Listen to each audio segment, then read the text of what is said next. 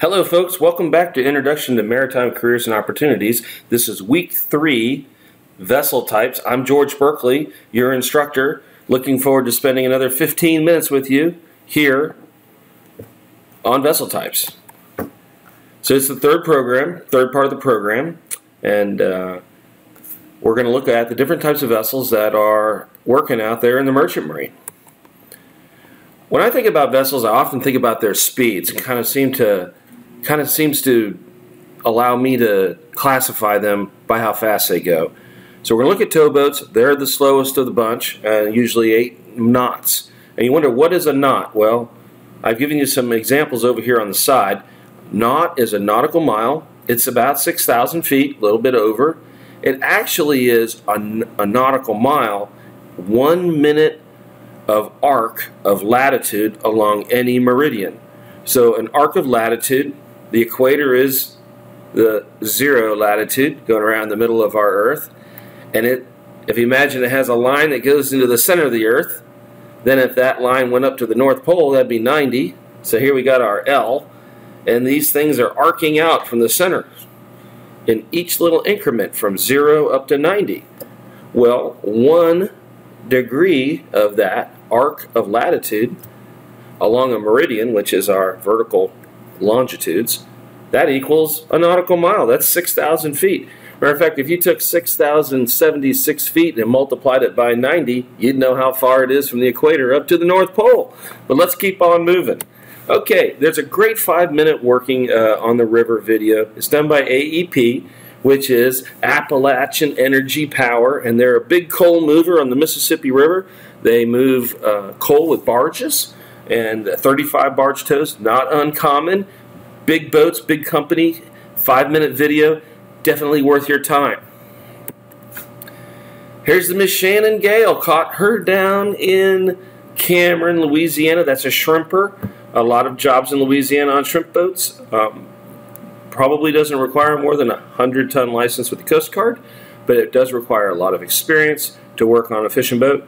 The equipment that you see uh, here in these racks uh, are the uh, the nets, and of course they have boards. So as the vessel steams forward, the boards get winged out by the pressure of the water, and then uh, they adjust the depth of them really by the time of day to find out whether there's shrimp, which are on the bottom during the day, and come up to the surface at night, and that's fishing for shrimp.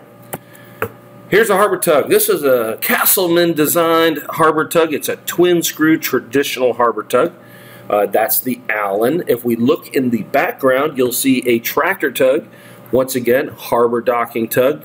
This is at uh, uh, in Lake Charles, Louisiana, and it is uh, probably up around PPG, uh, Valero, uh, or Citgo at the refinery up near the I-12, where I-12 goes right through or I-10 rather, goes right through Lake Charles.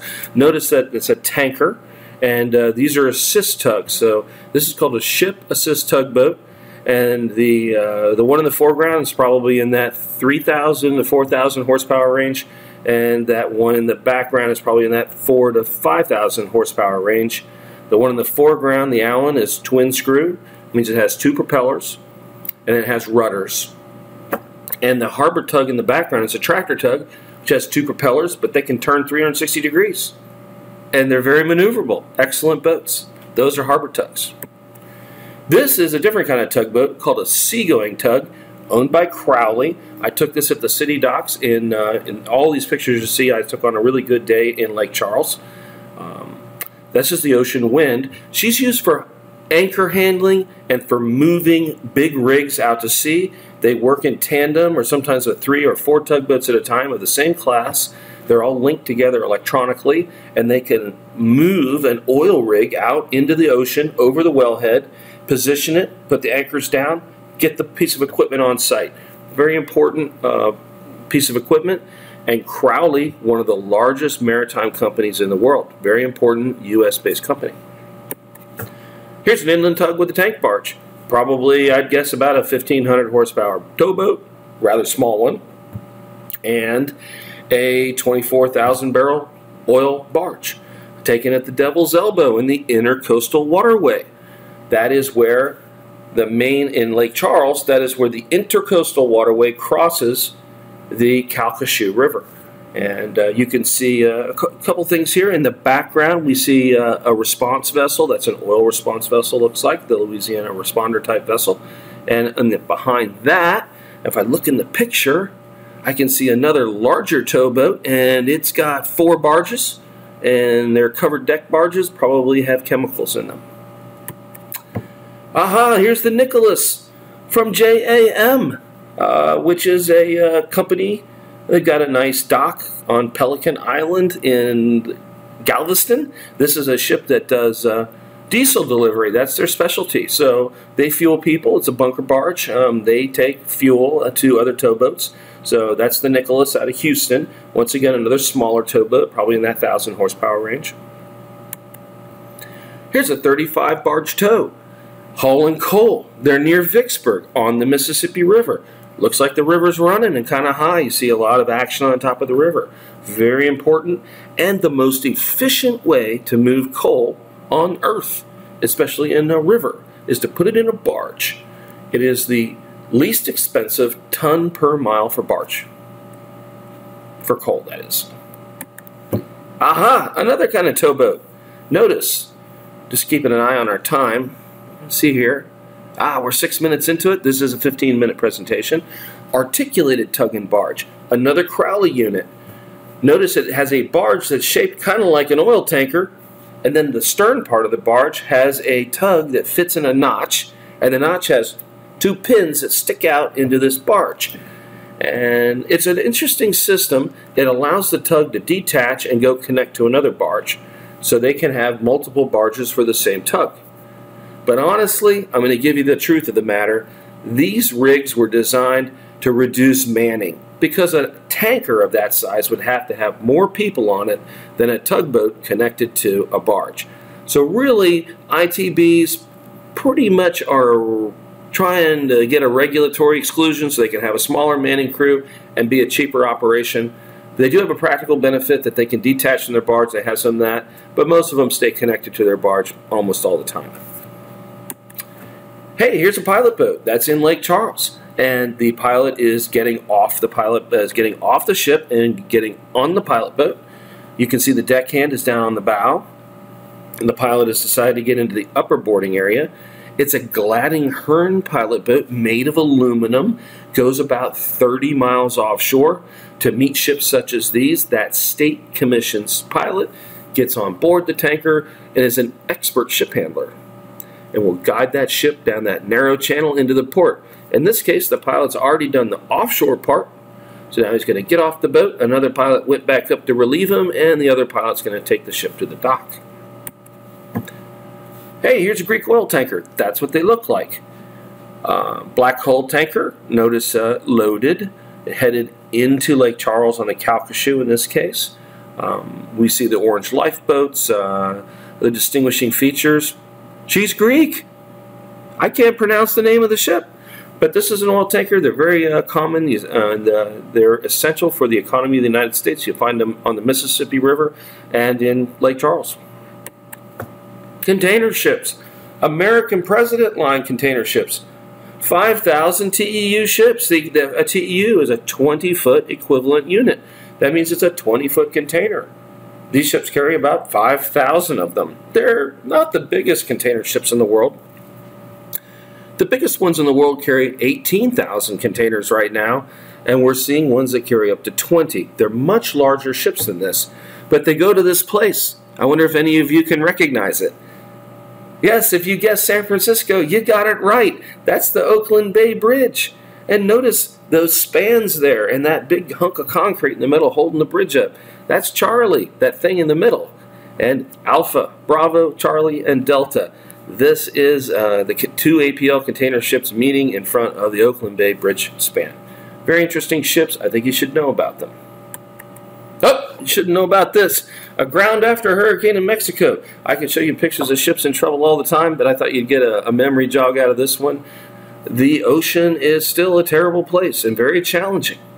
We don't have all the answers. So occasionally things go wrong, even for container ships, like the Alva Star.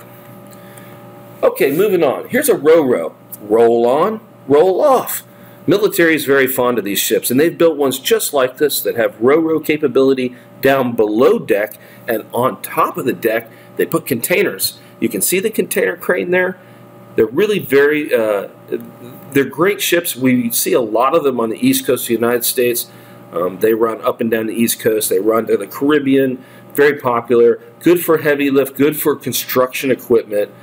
Uh, really good for, for uh, moving construction equipment around. Very well known for that. Aha! One of my favorites, the liquefied natural gas ship. This is a Moss type ship, MOSS, named after the Moss shipyard that developed the spherical tanks. You see those round tanks? They hold the insulation around the other spherical tanks that had the liquefied natural gas in them that is really, really cold. We keep it at minus 160 degrees centigrade. That's almost minus 300 Fahrenheit. Brr! But we can't keep it cold the whole time, so that gas is constantly boiling off. And notice that pipe running along the top of those tanks. That catches the boil off. Most ships burn it as fuel in their engine. Some new ships can reliquefy it through a process called liquefaction. And we also do this liquefaction here on the beach. So all the shale oil fracking gas that is coming out of the U.S. is a boom market for us. And we are now exporting this natural gas through our liquefaction export facilities here in Louisiana. And we have a number of them on the books. And our Federal Energy Commission is looking at approving a number of these sites so we can become the number one natural gas export state in the world. Aha, here's another one. A dredge. The U.S. Army Corps of Engineers is responsible for maintaining the navigable depth of the waterway, in this case on the Mississippi River. And that looks like the Wheeler to me. I can't tell for sure, but you'll see her often alongside the Mississippi River. Um, if you know the area, it's near the hospital. It's on the bank near Six Mile Bend by Audubon Park, kind of right next to Audubon Park. That's where the Army Corps of Engineers is. It's on the east bank, and you'll see that ship when she's not working alongside their big long building that's parked right there. And this ship has a cutter head. That's the way a dredge works. They have a cutter head, and check our time 12 minutes. We still have about three minutes left. We're getting near the end. The cutter head spins, it sucks up the mud, and then they pump it out a pipe to an area where they want to put the dredged material. Here's another interesting one called a Stolt tanker. It's a chemical ship, very high-tech ship, full of uh, full of tanks that are made of stainless steel. They can carry lots of different kinds of chemicals. Very important for the economy of Louisiana. Hey, well, that's the end of our ship types. I'm going to prepare a quiz for you. Hopefully, I'll figure out how to get you so that you can connect with me on on uh, on Canvas, so we can understand how to do these quizzes. But I'd like you to be able to look at these ships and know what they are and say, "That's a chemical ship. That's a container ship. That's a ro-ro." That's what's really important. So I hope you can ID them. If you can't, watch this video again. Bye.